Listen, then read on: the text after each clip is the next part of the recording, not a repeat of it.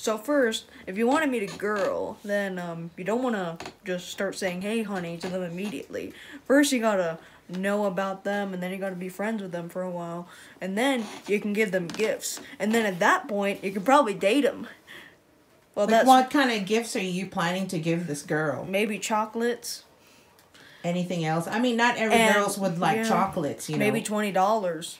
A twenty dollars, That's a hmm. Thing, I don't know if it's twenty dollars can go far. Keep on giving her money. I was then thinking that maybe what we'll take her. Do you think a twenty dollar can go far in this type of economy now? Twenty dollars. Not hmm. really. Okay, so maybe you might want to increase that a little bit. Fifty. Fifty. Oh, okay. yeah, now fifty we're can buy. talking. Fifty can buy a little bit. Okay.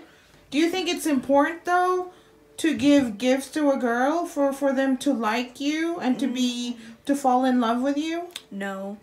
No. It- it's not really important. What's the most important then in your point of view being 12? Love. Love. True love. Instead of them being a gold digger. True and love. And how do you define a true love, Sean? I mean, I know you're 12. I don't ha- I don't think you have any experience yet in in in love. So, I mean, I know you don't have you didn't have any girlfriend Yeah. or not in a relationship as far as I know. So, Mm-hmm. why do you think what how can you define love, Sean? Well, I only know a little bit, but true love is if the per if you like the person any way any way they want. I mean any how they look, how they dress, and how they look, even if they gain weight. So You basically should still love them. Oh, so what Sean's trying to say is that loving someone unconditionally. Well, I like that. I mean, sounds like you will love someone unconditionally then when that right time comes. I mean, I'm not ready to be a grandma yet, you know. I mean, we still got long ways to go until you get don't to make that a girl, point. Don't make a girl pregnant when she's 13. I'm And- gonna get in deep trouble. Anyway, well, anything else, Sean? Any other oh pickup lines? You didn't really give us a pickup line. Oh, a pick- Maybe one pickup line.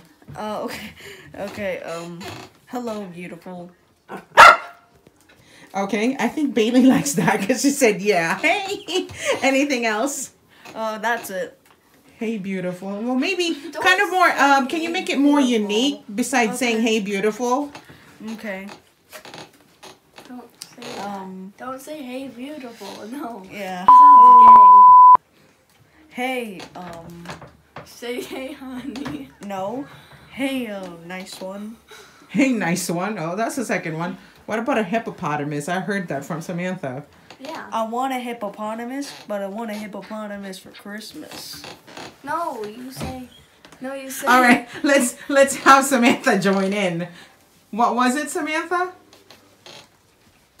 Uh, you say, um, um, you say, uh, um, uh, you look like a hippopotamus, but I wanted a hippopotamus for Christmas. All right, say that again since Bailey's barking.